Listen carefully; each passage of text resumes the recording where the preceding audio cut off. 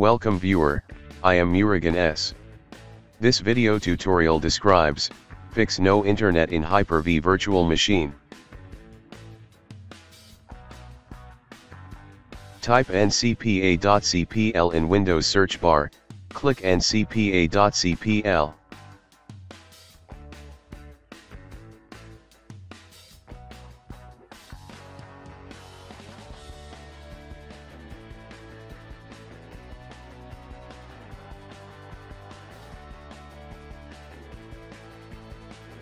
Open Virtual Switch Manager. Select New Virtual Network Switch, select External Network. Create Virtual Switch.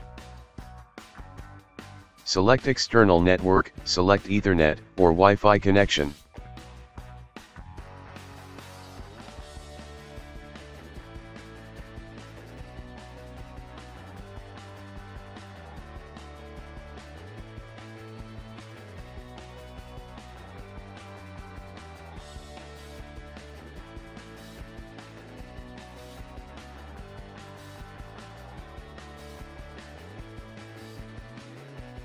Click File, Settings. Select Network Adapter, select newly created virtual switch.